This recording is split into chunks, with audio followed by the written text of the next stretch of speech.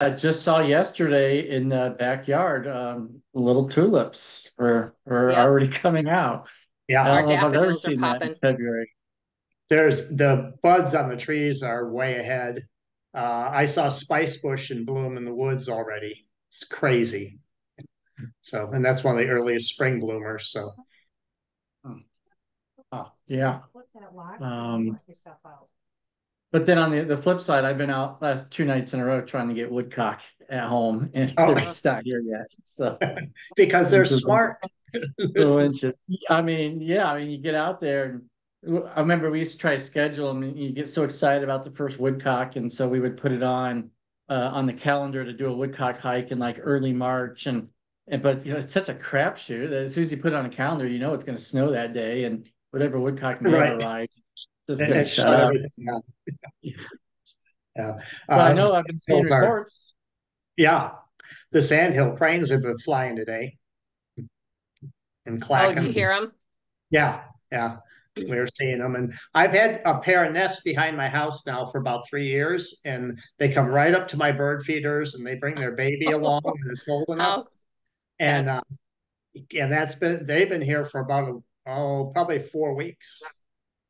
Not with the baby, but the the pair is there again. So, yeah, Awesome. Awesome. Cool. So many signs of spring. And it's February. I, I do remember that it just so happens to be that uh 2012, so going back 12 years ago, that was the the spring that we up in the Indiana Dunes had started officially the formal Indiana Dunes longshore bird counter position. And we actually started putting in some funding and accounting every bird. In 2012 was the El Nino year where we had 80s in March, I remember and we ended up with uh, I think hundreds in, in August. I was driving to the state fair and there was like uh, in the median grass was on fire. We were in a drought that year, and so uh, I'm looking at this February. I know, dear, I hope we're not gonna be in store for that. Uh, but those same years, these same birds that we were just now talking about, were starting to come in there. So uh, red-winged blackbirds, sandhill cranes, and what other signs of spring birds do you think of when you think of, of early March, typically? uh, we haven't seen robins yet, but they're the winter ones are around, but we haven't seen big flocks of them yet. Um, the bluebirds have been around all winter. They usually are.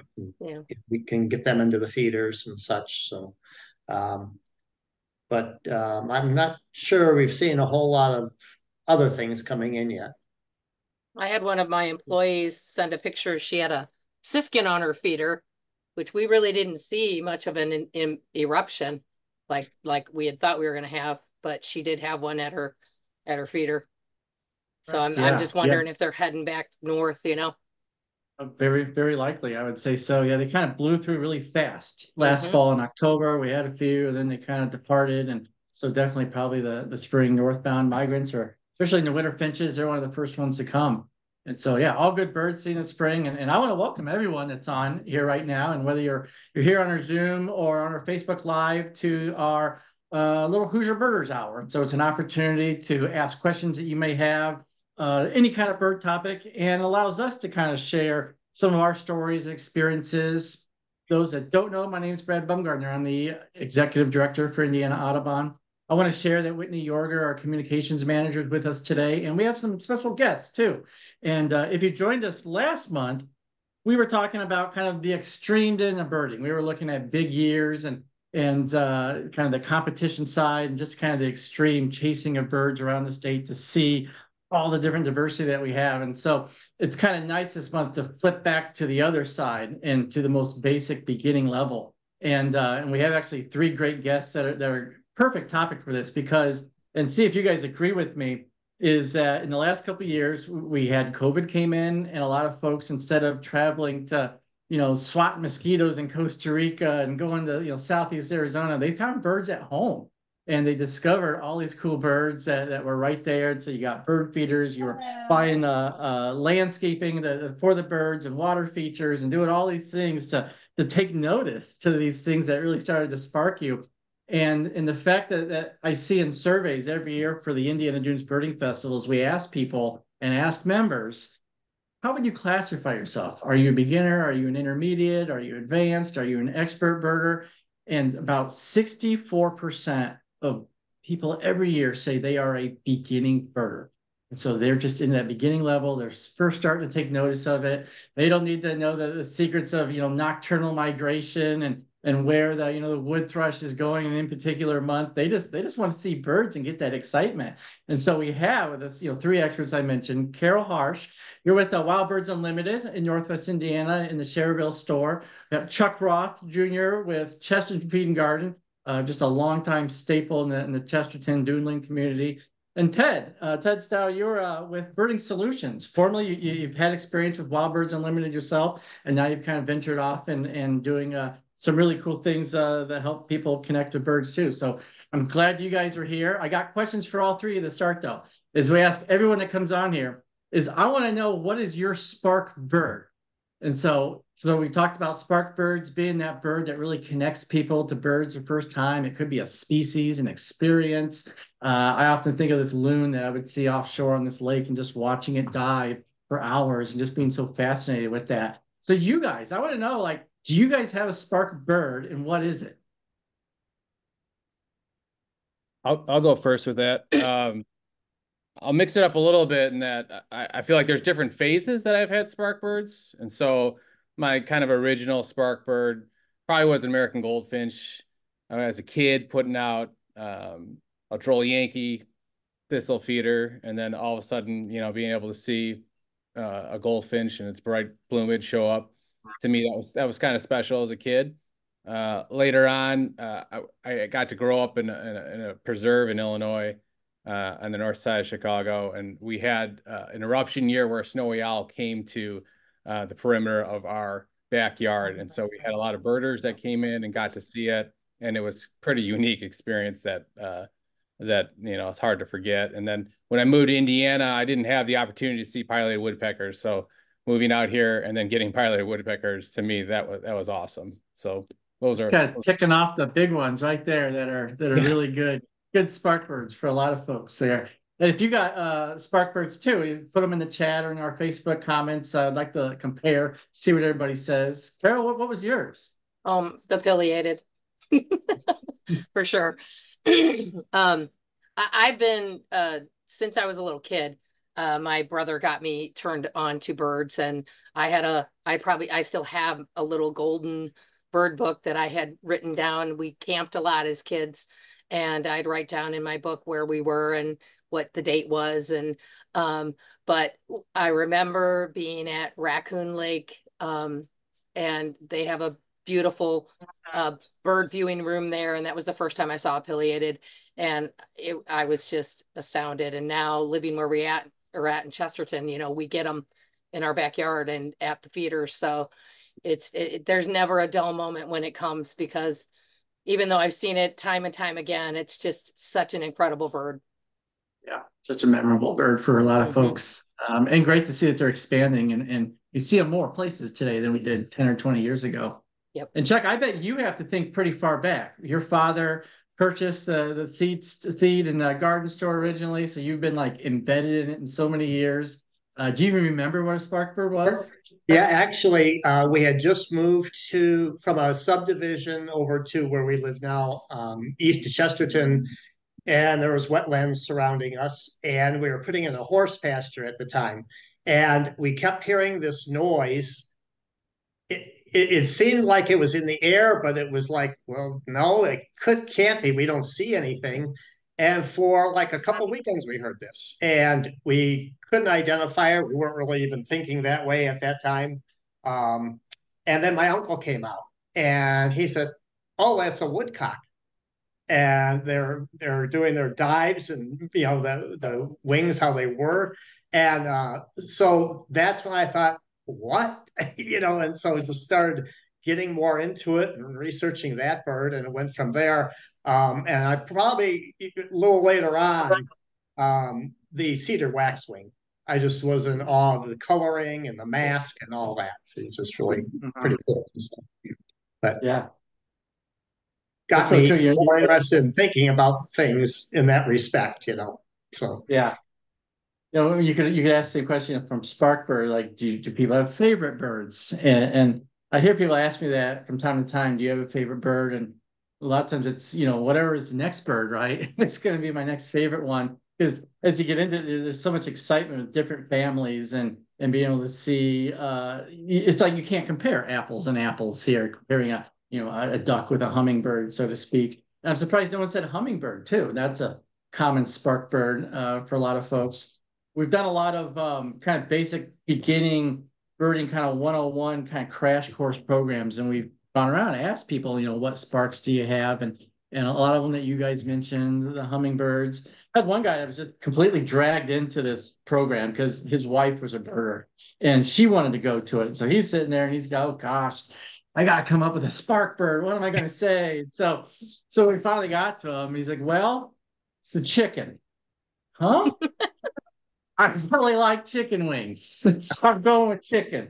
And so that was his spark bird. But uh uh, we see so many different angles that people get into birds and uh, whether it's just be like the the awe of uh, of migration and flight or just maybe the colorful you're a photographer you're picking up the camera first uh, when you see customers that you guys are talking to what is it that you think brought them to you was was it a spark experience was is it is it the they want to bring things to their home or are they just looking to overall expand that kind of base set of this? Wow they, they've gotten a little taste of birding. What is it you guys see people coming in that are really looking for to grow that that knowledge about birding? I I would probably um, mention housing. So bluebirds, wrens, chickadees. I mean, uh, I, I see that being, uh, and this is the time of year that when we really see a spike in, in sales in houses. what's the number one housing that would that's easy to support a bird for beginning birder that's like okay i can put this up and i'm going to have the best success rate I think, go, go ahead. Yeah, just a rent house, Yeah. rent or chickadee house. That You can just, you know, most people have uh, access to to a branch and a tree, and um, Mhm. they uh, here, like you know, just something like this, right? So Uh-huh. it's, it's in an eighth opening, you know, and uh, there's, you know, it doesn't matter which direction. Uh, it's Right. it's pointing and stuff like that. So that's probably one of the easier ones. Bluebird houses seem to do pretty well too, and there seem to be plenty in the area. But also, they they can take other birds nesting in them. So there's usually a success rate. It, it may not be a success rate with the bluebird in it, but it, it you know Uh, might be They'll, they'll definitely get in. house sparrows in it, right? That's if all yeah, else yeah, guaranteed, probably. there's Yep. a whole other rabbit hole there. But but yeah, like tree swallows are another good example that, that might use that. And I, and I thought the minute I asked that, I was putting my foot in my mouth because it made based on habitat a lot too. It's like, well, what do you got? And so so Ted, I love that you know wrens. You know, you got such a generalist uh, there, and then the fact that you got you know chickadees and nuthatches that that'll check those things out too. Whether you don't have to necessarily be deep in the woods or out in a prairie, so there's a lot of edge habitat that those kind of things are good for. I didn't really consider, you know, I've, I've done wrens and done bluebirds, and I was walking the, the trails at Mary Gray Bird Sanctuary. Uh, it was it was last spring, and we stopped at one of the bluebird boxes and expecting a bluebird, and out popped a white-breasted nuthatch. And so some of those birds you don't always think of as being cavity nesters that are really cool to get too. And so Right. yeah, sounds like uh, wren boxes, bluebird boxes. When you're looking at birds at your property during the breeding season, it's a great way to kind of support them. Uh, other ways to support breeding birds, like if I got, you know, I got your typical suburban lawn, but I got, you know, a few trees and shrubs. You know, how else can I support them as we get into May, June, and July? Yeah, you can, for sure. Um, I mean, I think a big thing would be, um, you know, offering food that they're gonna go after. I mean, you've got your mealworms that are always a big draw of so many different birds. So I think that's- sorry. Yeah, I mean, there, there is a whole rabbit hole of, of bird feeding and the, if you have someone that's just, just starting out bird feeding, what's the kind of the general starter? Like, what do you, what's the first feeder you're gonna put out? If you, if you don't, you're coming onto a, a house, you just moved in and there, there isn't a history of feeders there. I think putting out uh either a platform feeder or a tube feeder that would take a general mix is good because then you can learn what birds are there. Um, you never know whether they have a lot of foliage or cover for them or not, if it's a big open space. So that I think kind of helps to identify what you might have in the area. And then adding a suet to it is usually good because you if you've got any trees around, you might have some woodpeckers hanging around. And the suet cakes today are filled with seed anyway, and they they do that purposely to to attract other birds to that area. So. Mhm, mhm. Yeah, I, I ideally if if you have uh, the resources to spend on like hardware, and you can put poles up and you can put baffles up, you know, it's not a lot of fun to spend that money perhaps on that. But once you've done that, and then you've got arms out for additional feeders to add, you're on your way uh, to really, you know, setting the hobby up for success. You can, if you have a tree, you can put a, a bird feeder out there that's, you know, weight sensitive, so it'll drop down if a predator tries to get it, a raccoon or a squirrel. And then, um, but you got to make sure that's you know further enough away from the tree trunk and can hang down. And there's there's a good company called Brome, B R O M E, which anyone could look up. It's uh, Brome Bird Cares is their website, and they have really fantastic quality feeders that uh, they Mm. stand by. And uh, it's something that uh, I would recommend probably to, to anyone those types of feeders. The nice part about Brome too is they have a lot of, for different varieties, so it's not just a a general feeder. They'll they have one that's specific for the finches and for the thistle seed and such. Mhm. Niger seed. Mhm. It seems like um I've noticed just visiting various stores and online that that the the feeder quality has really gone up. And they seem to be kind of some of these are are treated uh in ways that they'll kind of prevent them from getting infected and, and getting moldy inside the feeder. They're just kind of drier and just the quality seems better. I, I don't see the the old feeders anymore that have the old kind of faded cracked plastic um when I look at some of the more modern day feeders. So uh, I think that's that's a big difference I've seen in in just factoring in some of these predators and squirrels that get on them. That there's so many tailored now that uh, I, I love feeding birds.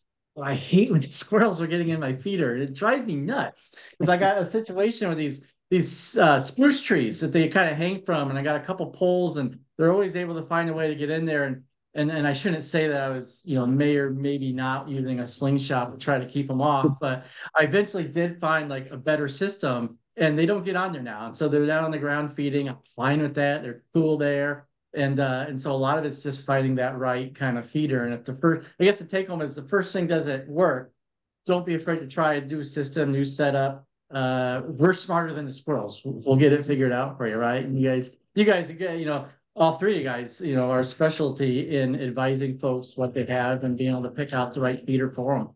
Right. Yep. I think a big thing that we try to strive for is, you know, there's a lot of probing questions that you need to ask a customer to make sure you're getting them set up for success. Um, that we really work through with each each individual customer because like you said, everybody's yard's different. Um, you, you can't, you know, you can't put up, like you said, a bluebird house and in certain circumstances or um, they don't have a pole system. You got to get your feed your squirrel proof feeders to to um, help them be successful because the biggest thing that we see in this this hobby is people stop feeding because they're having a problem and they don't know what to do so they just stop doing it Mm-hmm. Yeah. There's so many remedies to and solutions for those problems, and it, some of them, you know, don't take a lot of money. Um, it's either changing the food around or changing the pole system, you know, so it makes it it, it can be easier than what they're thinking it is. But you, you hope that they ask the questions, you know, when they're in. Mm-hmm. Yeah, and if, Chuck, if you mentioned, oh, sorry, go ahead, Ted. any customer has like an issue, you know, feel free to to email or take a picture and send it to someone. And a lot of times that helps when we can see the habitat itself and and see what's going on and give suggestions. We we can always keep the squirrels off off the feeders overall. Okay, sometimes they'll crash into feeders and sometimes they'll try and you know grab a seat here and there, but it can be done. Don't give up. It can be done. There's there's lots of different sometimes it costs money and unfortunately um, But um, yeah, just just let us know, let other people know, let some experts know, and just take a picture of, of what the scene is. Yeah. Yeah. Chuck, you had mentioned uh general seed mix, and so what is the best number one seeds uh for different birds that you might be looking for? And like, what's what's the favorite one that, that each of you guys like to use? Well, I think a good a good quality mix is important off the bat, so that you know some will tend to to attract your sparrows and your grackles and starlings. So um, you want to stay away from filler seeds and so on, and seeds that are on the lower end of the scale. Um, but when you get into a good mix that has maybe even it doesn't have to have hulled sunflower, it can have sunflower with shell on, but you know some peanuts and some millet, um, no milo, very little corn, just a small amount maybe for the winter heat and such. But um, safflower seed and even the Niger seed to attract finches to the feeder. So that that gives it a chance to get those different varieties in that might be looking for those things. Um, and then you can go to the next level and go to say like a nut and berry mix, uh, which would add the berries to it, which could bring in you know your other like some bluebirds and such that may not come to a feeder because they're really looking for berries or mealworms. So, um, but you want you want to at least stay on that higher side of the lower quality mixes to begin with, and and, it, and a lot of it's a price consideration. I mean, we sell a lot. Our lowest mix doesn't have a lot of filler seed. It has some because it, it has to to make it a lower end mix, but we try to keep it to a minimum. There's not 50, 75% millet in like you see in some of these bags. Yeah. You got the best name for yours too, right?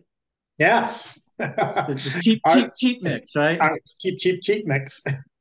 we it used to be called wildlife mix, and everybody that would come in, we'd say, you know, we'd go over to them. They'd say, "No, I just want that cheap stuff. I, I just want that cheap mix. I just want." So we'd say, "Okay." So we said, well, "Let's just go with it," and so we named it cheap, cheap, cheap mix.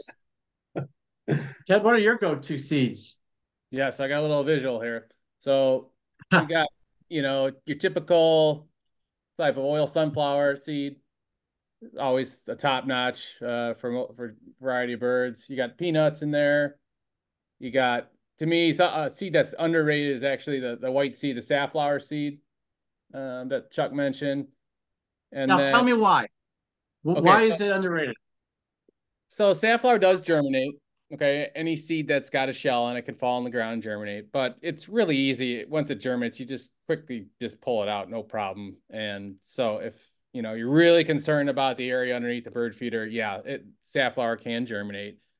Um, I wouldn't even put it in the top, you know, four, top five of, of like most, you know, attractive seeds overall. But the beauty of safflower is that cardinals still enjoy it, titmice still enjoy it, chickadees still enjoy it. Most of the blackbirds uh, don't enjoy it. It's a little bitter. And so, you know, if you have starlings that are coming by and they're pigging out, you can put safflower in a feeder. And sometimes they'll take a look at it. And if it's they're really desperate, then they'll come, you know, eat it, uh, like, you know, in the middle of winter. But for the most part, I'll have a feeder out there year round uh, in most people's yards. You can put it in the tray. Mourning doves eat the whole thing. They clean up sometimes with it, but uh, it's a nice, it's a nice resource for us to have. Um, when you, you put peanuts or sunflower chips, chips are the sunflower without the shell.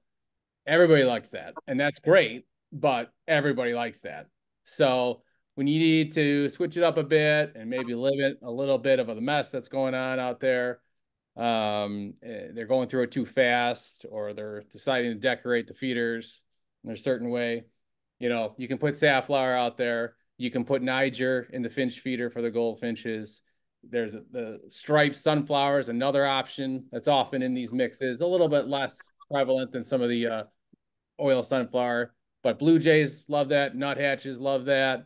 Again, starlings have a harder time cracking it open. They got a different type of bill. So it, it's a nice resource to have. Woodpeckers will grab it. You can get your red bellied uh, woodpeckers eat that, the downies. So um, there's a lot of options. Peanuts in the shell is another option. Blue jays love peanuts in the shell. Red belly woodpeckers. Sometimes cardinals grab them. Uh, and then the starlings can't crack them open. So you can put those out. So you can put striped sunflower. You can put peanuts in the shell. You can put safflower. You can put Niger out there. And the starlings are not going to be the problem. Um, that they sometimes can be, especially in wintertime when there's a lot of ice or snow. Mhm. Hey, Ted, have, have you, um, done anything or seen anything with the Nutris, uh, saf and germination? Does that tend to not germinate as much as the, uh, heavy shell safflower?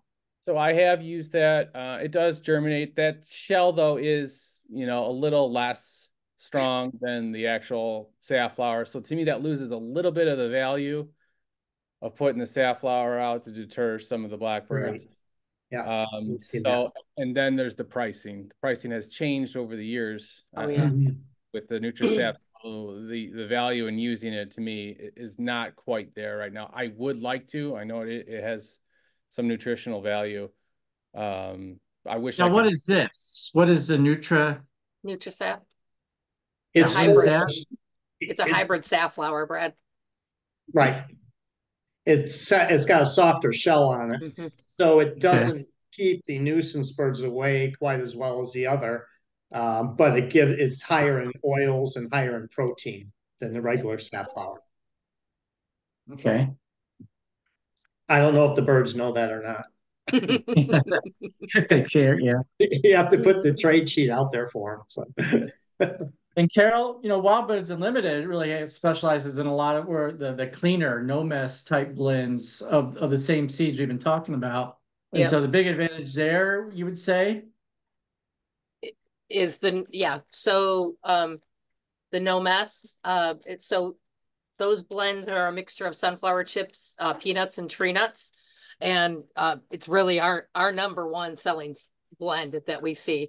In addition, it does, it does cost a little bit more, but one bag of it is almost equal to two bags of stuff that's in the shell. And everybody eats it. I mean, everybody, sun, um, having all the sunflower chips, um, you see a lot of goldfinches going to it as well, above and beyond just straight Niger. In fact, when I was feeding with straight Niger, they were going for the no mess over the Niger.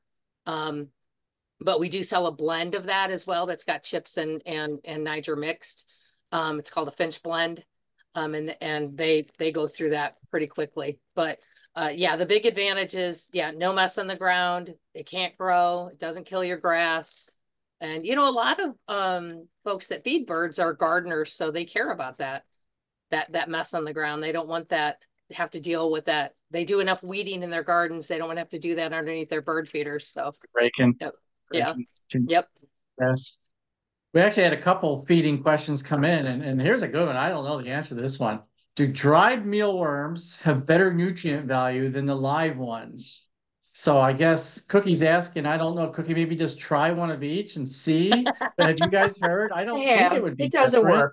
work. I would I would say, I mean, and not Ted, Chuck, uh, chime in that um, live ones would definitely have more nutritional value, I think, than than dried. I would What you would say- lose. I agree with that. Hmm, Okay, so go for the live ones, Cookie. I'm guessing those are the ones that cost more too, They, right? they also taste better cookie when they're going down. Yep, Something else. to keep in- Something else to keep in mind. Cookie, we'll have those back in stock in a couple, probably about a month, so you can come by and sample them if you'd like. It's good to, uh, with, with mealworms, they're calcium depleting. So sometimes people get a, a little bit carried away with the amount of mealworms they'll put out. So, uh, when birds are trying to, you know, uh, it- you know, lay eggs and, uh, trying to produce calcium, it's a good idea to maybe use some eggshells and put them and mix them in with your mealworms. Um, you can bake them like at two hundred degrees for, you know, twenty minutes. And, uh, then just kind of break them up and, and add them to your mealworms. Um, and then that way they'll grab them and, and grab some calcium. Sometimes we don't want to kind of overdo the copious amounts of, of food choices. It's good to have a little bit of variety. Yeah. Uh, that's something to keep in mind, uh, with mealworms and, and live mealworms certainly do go faster, um, as far as birds' choice. So they're cut to that question. The birds might know something that we don't too. Anything that's, you know, closer to being alive or, um, uh, more more recently, uh, the birds are interested in uh, for for some of those reasons. Some of the uh, there's suet nuggets, the dough nuggets that have a lot of good um, vitamins, minerals, and the seed mix in with it, uh, ground up. But that helps to do that same thing, so you can mix that right in with the mealworms for their diet. Good point. It's hard Yeah, to find mealworms. Any of you guys carry the meal, live mealworms? I don't carry them through the winter. I'll bring them back in probably about a month. And then I'll carry them through probably August. We mostly carry Elizabeth, dried mealworms. Mhm. Same. Yeah, Elizabeth follows dry. up, uh, as an alternative to eggshells. What is an alternative to, for a calcium source? Yeah, you can buy calcium powder too. Mhm. Yeah. Um, But, you Yeah. know, If you can get finely ground oyster shell, the smaller grade oyster shells, that works too, like you do for chickens. Or you can throw it in your Cuisinart and grind it down, but um, that that works good too, and it's a real fast form of calcium. yeah, Okay. and birds are always looking for slugs in your yard and things like that too, for, for those Mhm. reasons. Yeah. The other question we had was somebody was, so it's kind of, there's a perennial thing that I think you guys probably get it every year. You get that phone call, where are all my birds? They're all gone. There must be some shortage in the community. It's, you know, is there a die-off going on? Because birds aren't coming to my feeder.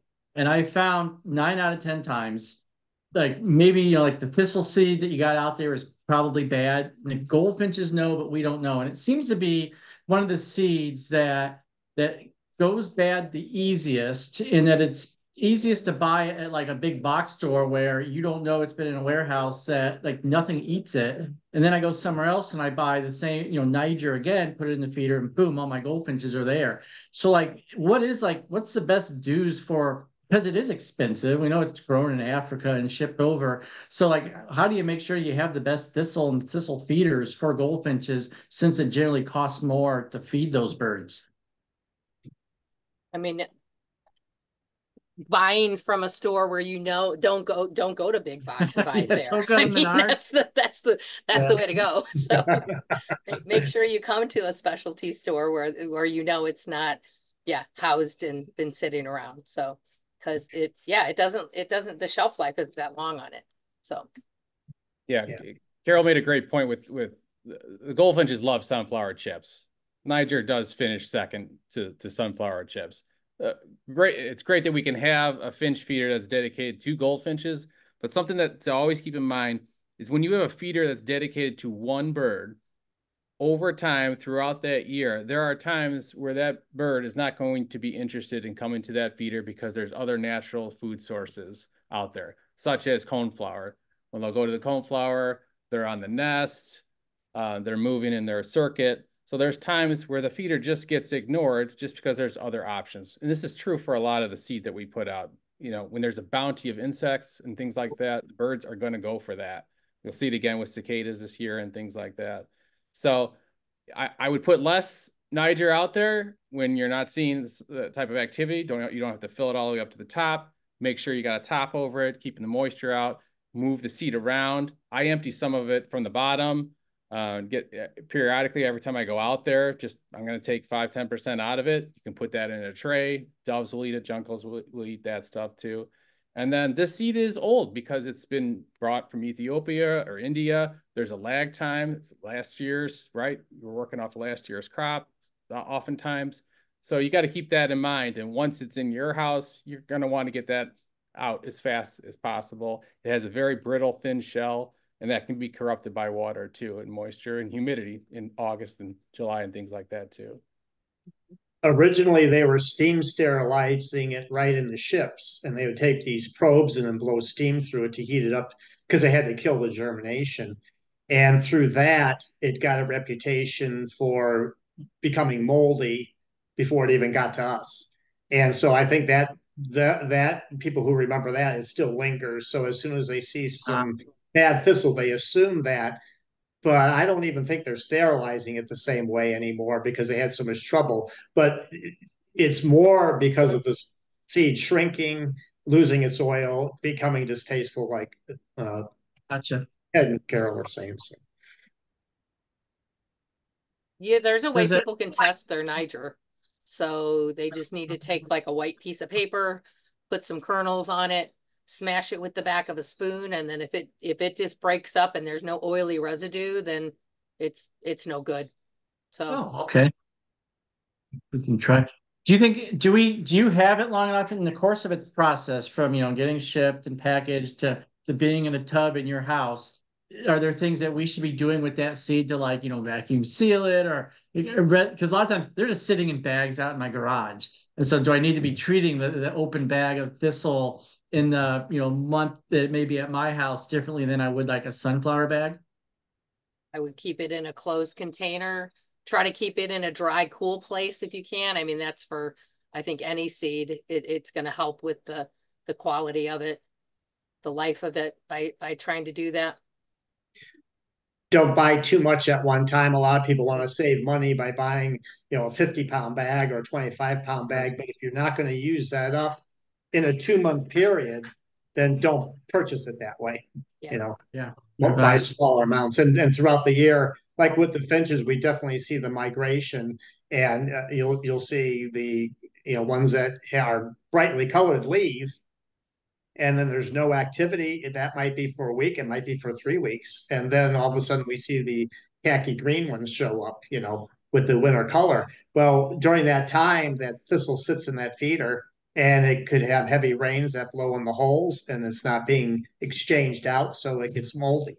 And the birds know that. They go up to it. You'll see them grab a seed, they'll shake it and throw it out. And they'll do that a few times and they'll just leave. And then they leave the feeder alone. So really during those times, you really need to take the feeder down, clean it out good, fill it with a small amount of seed, like Ted said, and you know, for any that are lingering, but otherwise, you know, you need to keep the feeders clean and you need to keep that seed moving.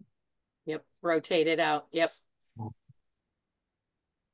for thistle, July is one of my favorite favorite months for feeding uh Niger seed, just because you have this little pause where all the our local breeding birds are, are eating insects and, and bugs and such, but the goldfinches, you know, there's they haven't bred yet. They're still coming to feeders, and they kind of become like the highlight for July, I think of.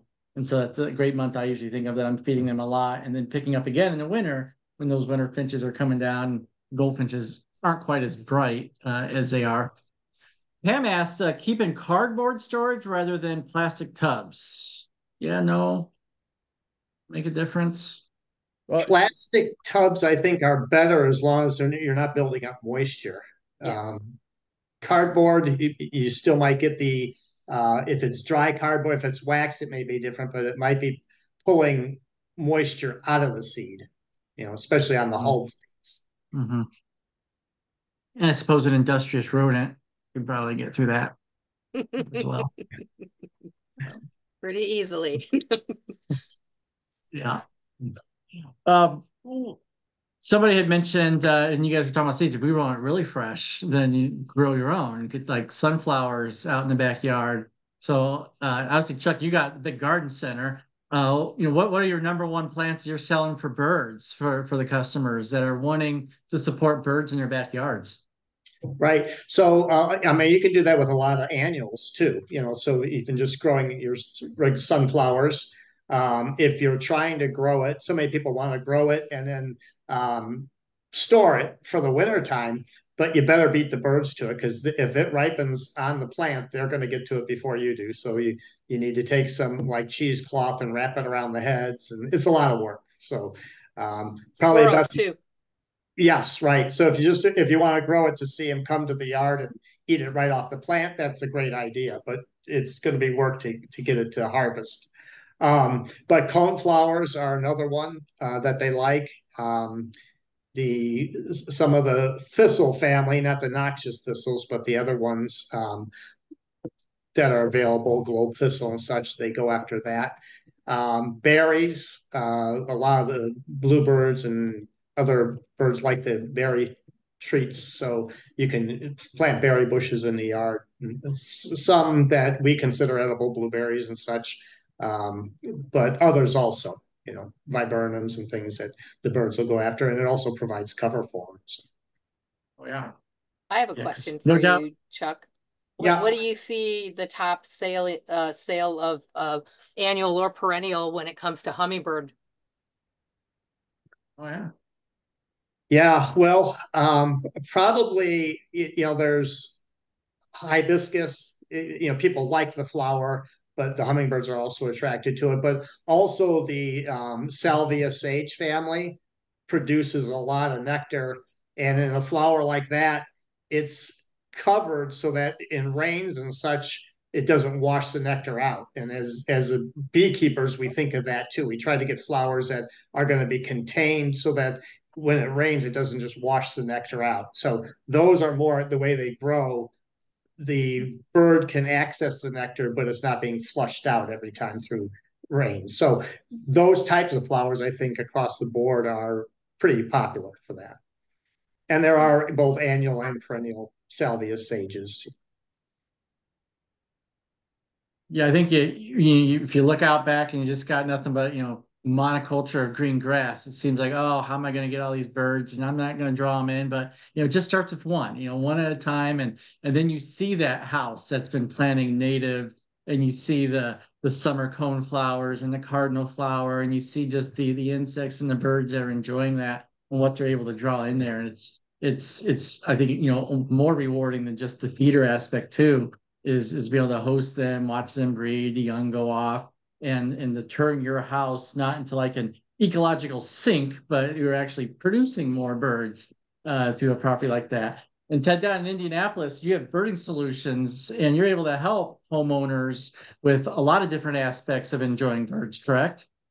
Yes. Um, so yeah, I, I will set up different hardware for people, houses. Um, I can, uh, for a lot of people, I, I'll do maintenance, uh, weekly for them, for hospitals and senior centers and dental offices and things like that. And so the, some of their customers can enjoy it too. But I, I try and take a little bit of the guesswork out, um, for, for different, uh, my customers. And then I, I'll try and change things up as the seasons go. So I'll put different feeders out there, different seeds out there because you know sometimes it can get you know get a little stale sometimes and uh, it's nice to be able to put out you know a hummingbird feeder an oriole feeder and, and try for different things or watch the weather and see um, that was maybe one of my suggestions for a lot of people you know pay attention what the weather's looking like in the next week. Maybe that'll change you know what type of seed you put out there which ones can handle some of the moisture and things like that. But um, yeah um, so that's uh I, I do sell stuff, uh suet and, and bird seed and, and feeders and stuff as well, but primarily I'm out in the field. And your main area that you're in is Indy and the surrounding counties beyond there? Yeah, mostly Indy, Zionsville, Carmel, Westfield, uh, Northwest Indianapolis area. So folks are in central Indiana, uh, they would visit your website, which is You can do uh birdingsolutions.com. So birding solutions. birding-solutions.com. Mhm. What would you guys say? The the biggest do if you are starting fresh and you're trying to draw in birds is someone who's got a spark and wants to see more in your yard, and the biggest don't.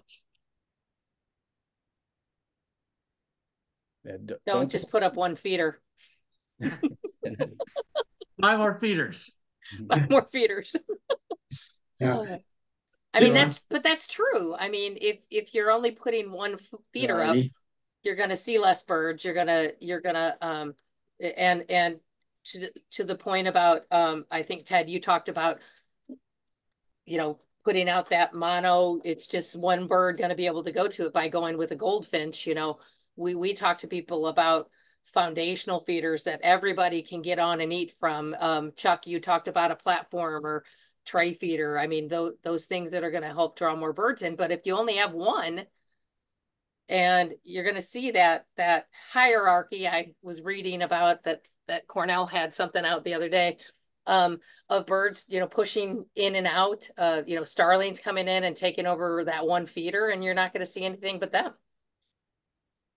Yeah. The, also like just diversifying either the, the seed mix, the seed or the feeder itself to accommodate different birds is a good idea. So, and a lot of times the, the beginning birder doesn't want to start out putting a whole lot of money in it. You know, they had their spark and so they're coming in and they're kind of feeling their way through. So, but you can start out slow and you can start out inexpensive, like instead of a, a $50 Niger thistle feeder, you can go to a sock and fill the Niger sock with it. And that gives them the opportunity to see if those are around and are gonna come, and once they see that, then they can go to upgrade, you know, to a bigger feeder, a better feeder. Yeah, that's a good start. Uh, you know, oftentimes, you know, it's someone who's been feeding for a while. I don't buy socks, you know, I got higher volume and they're not gonna last long, but but when I have put them out and I've had them, those goldfinch, they figure it out. They know what those are. So if you're gonna know right away if you have finches and whether you should invest, uh, that that is a kind of cool idea, just to start out with something like a sock. Yes. We, um, back, it, it was, it was before I owned the store. I was working for the previous owner, so this must have been in seventy-five, nineteen seventy-five. I, I don't think any of you on the screen were born then, so. That was Uh, birds were black and white. But we, uh, somebody came to us and, um, in our area at least, uh, Niger thistle, and it was called thistle at the time, was unheard of. You know, people just didn't do that. And so he came to us and he had seen it somewhere in Wisconsin and, and what did, how it attracted finches. So he came down and was asking us about it. He lived in this area. And we searched around for a bag. The, the previous owner searched around for a bag. And the guy that we got most of our feed from said he was over in Hammond. He says, I can get it. It comes in a 110 pound bag. There's probably going to be less than 100 pounds in it, but you're going to pay for 110 anyway. And I forget the price of it, but it was some phenomenal amount $5 a pound or something crazy like that to us, wholesale. And so we went back to the guy and said, Well, we'll split the bag with you because he was bragging about so much. We will split it with you. And we she practically sold it to him at cost just to, you know, get the ball rolling. Well, it was very shortly after that we we put it out and we just put it in a regular feeder because there wasn't even Niger feeder, feeders at the time. And we put it out um, and it was incredible. As fast as you hung it up and walked away from it, it was full of birds. It just and back then you'd get 30 to 40 birds at a feeder, you know, hanging around waiting for a turn on the feeder. And now I don't see quite that many, but it, it was incredible during those days. Um, to the point where up in uh, Michigan, Sarett Nature Center, they used to take the whole burlap, 110 pound burlap sack and put it on a meat hook and hang it in the tree. And it was just covered with birds. It was crazy. So it's kind of Bird crack. reminiscent of that. Can't imagine how many redpolls you could get with something like that hanging. Oh, yeah. Mhm. Yeah. Yeah, a place like Sarett, that's pretty cool. Uh, you said don't, for don't, uh, have, uh, you know, just one feeder. Uh, you get, you know, someone that occupies a feeder. I see the same thing happens in hummingbirds too, where you get like a male and you think, oh, I got a feeder here and a feeder here, so everyone can share it. But that male's up top and he sees them all. And, and he's playing the long game and he can kind of cover and defend all those different feeders. So, so people often ask, you know, in terms of don'ts, is when, when do I put them up? When do I not have it up yet? When do I, how long can I wait? Do I leave it up? Are the birds not going to migrate? So we haven't really talked much about hummingbird feeders, but it's really not too far away. Like when would you guys start putting up your hummingbird feeders? Uh, when should people do it? And should they, is there a date they need to take it down? I, I would say we tell people to put it up on tax day. And we tell them to keep it up as late as Halloween. Cause they could get some migrators moving through then. So, Yeah, I think like Cornell has been pretty profound on the fact that you're not going to keep birds here by leaving the feeder up. So the old, I mean, I don't know whoever picked out this date, but September fifteenth, you know, and how do the birds know that? You know, so um, I think that leaving them up, and we had one here, Brad, if you remember, was that five years ago, and it was a week before the Christmas bird count, and it was in Valpo, and we had pictures of it with snow in the on the feeder and in the background, and the Wow. the poor little thing was there. Uh, I was almost going to buy him a plane ticket to get out of here, but uh, but we were hoping we'd pick that up on the bird count that year, and of course it was gone. Yeah, it was Yeah. gone by then, Yeah, just, just days before it. yeah. So yeah, that, so that- that but reminds the me of- feeders help them down through as they're migrating through. You know.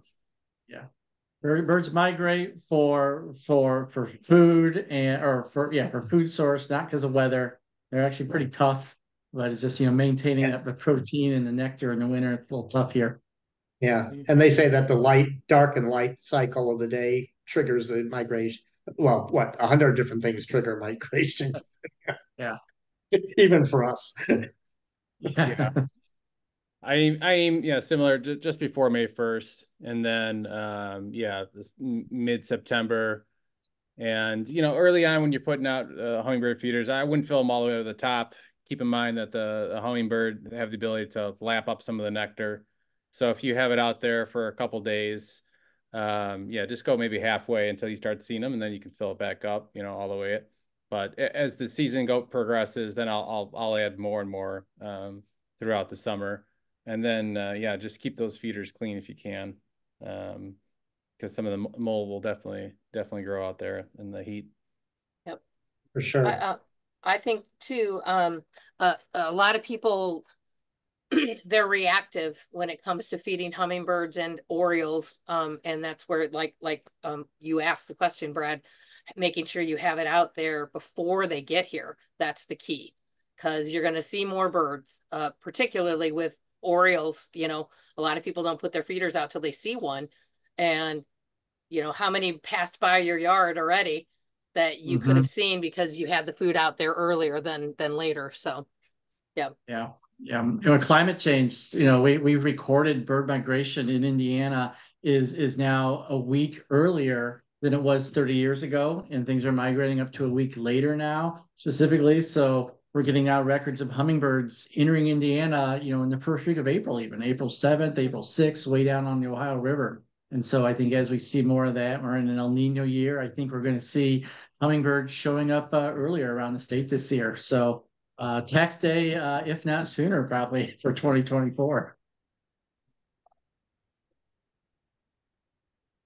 And obviously you can keep them up uh, a little later, uh, you know, but the, the big take home that you mentioned is that keeping that feeder is not going to deter them, you know, so you can keep up through Halloween or even longer until they freeze. Uh, and you never know, you get that situation where it's December and there's still a ruby-throated hummingbird that's looking for a little extra energy to, to make his uh, way back down to, to Costa Rica for the winter.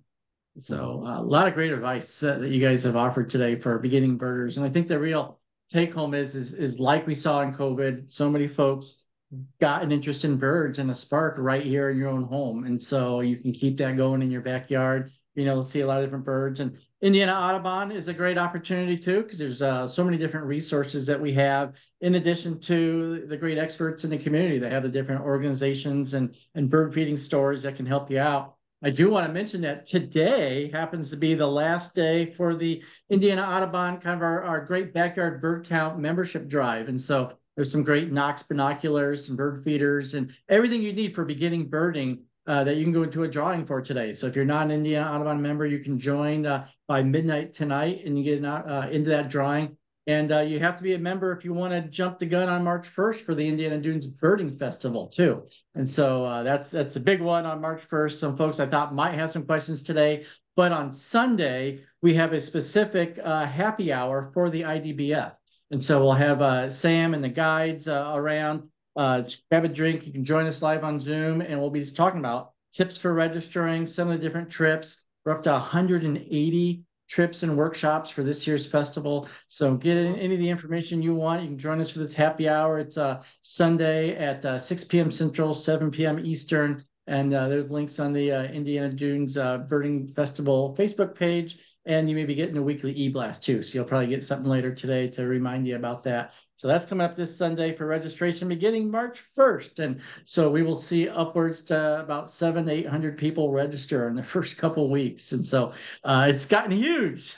and Chuck, you're right there in the middle of it, being in Chesterton. And, and we've got a lot of support from Wild Birds Unlimited too. And so it just, it takes an army, a community of bird lovers to be able to put an event like that together. And so we're so excited to see registration start because 64% are beginning birders and we love sharing so many of those different things that you can do, whether you're you're helping the birds in your backyard or you're you're doing it traveling abroad. And so so many ways you can do it with Indiana Audubon. So if you're not a member, please join us. Uh, join us next month for our Hoosier Bird Hour. And I want to thank uh, Chuck, Carol, and Ted for joining us and and letting us pick your brain about all the cool beginning birding topics. So thanks, guys. it's been a Thank you. pleasure. Thank you for having us. All right. Wonderful meeting, everyone. Yeah, you too. If you have questions, you're on Facebook, uh, feel free to put them in the comments. We'll answer them afterwards and we'll have a, a copy of the recording too for anyone that might want it. Thanks again, everybody. Have a great day. I'm Thanks, migrate to the kitchen.